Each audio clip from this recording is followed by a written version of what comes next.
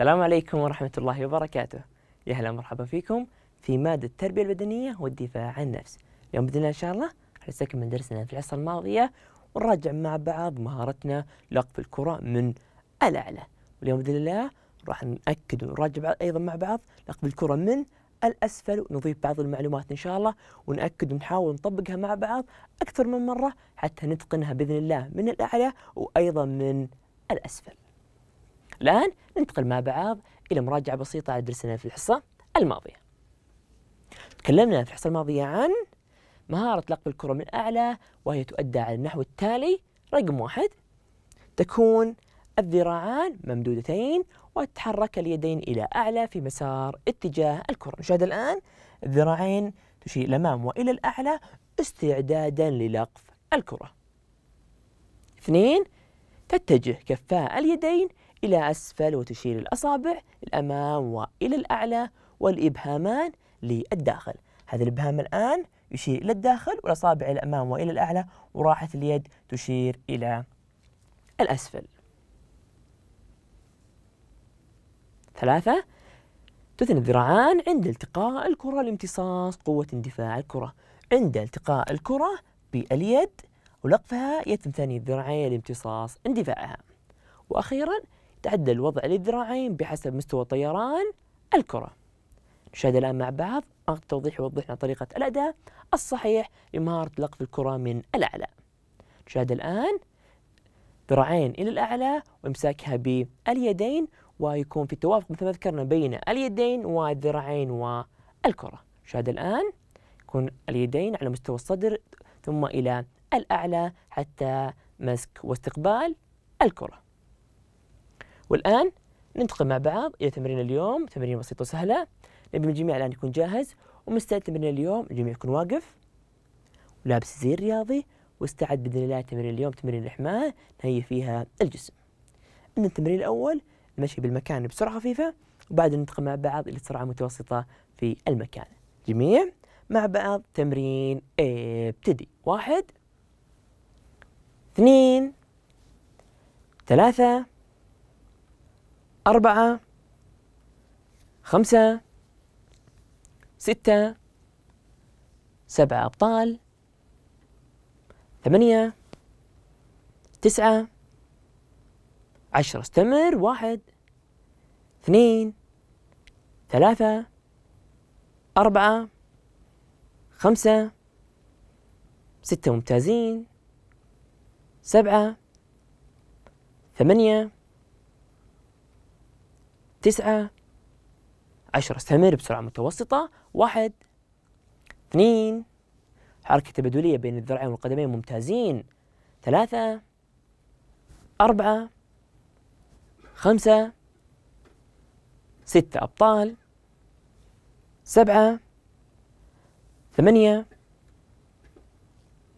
تسعة. أخير. عشرة. قف. التمرين الثاني وقوف. ذراعين للأعلى والنزول ولمس باطن. القدم والرجوع مرة أخرى إلى الأعلى وأخذ خطوة إلى الجهة الأخرى ولمس باطن. القدم باليد الأخرى. ثم الرجوع مرة أخرى إلى وضع البداية. الجمع جاهز؟ مع بعض.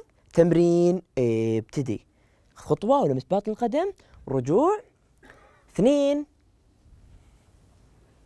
ثلاثة أربعة خمسة ستة سبعة ثمانية تسعة عشرة. استمر الجولة الثانية. واحد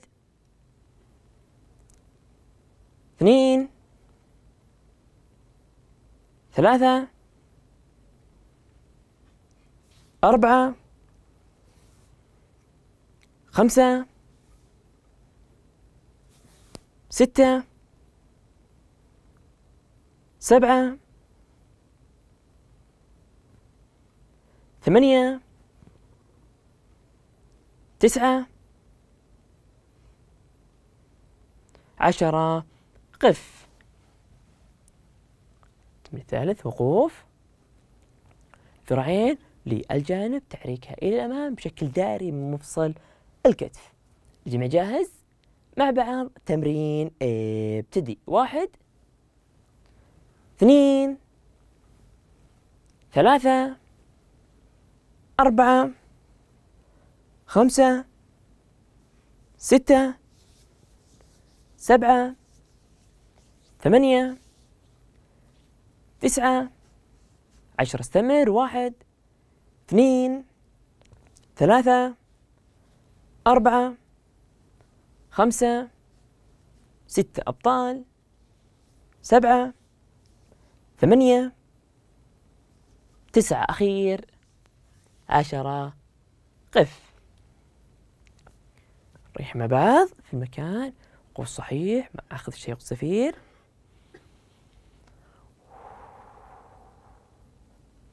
مرة ثانية.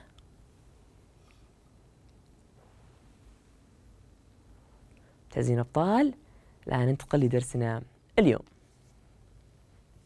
اليوم راح نتكلم عن لقف الكرة بطريقة صحيحة. في البداية تكلمنا عن مهارة لقف واستقبال واستلام الكرة. يتطلب أداء هذه المهارة التوافق العصبي العضلي. لابد يكون في هناك توافق العضلي وأيضا العصبي في الجسم بين اليدين والعينين والكرة عند استخدام اليدين للقف الكرة بعد رميها. تكلمنا عنه يكون لقف على مستويين. قلنا لقف من أسفل اليوم بإذن الله راح نشرحها بالتفصيل. الحين تكون الكرة المراد لقفها في مستوى أسفل وسط الجسم مثل واضح أمامكم الآن. في هذا المستوى يسمى اللقف من أسفل.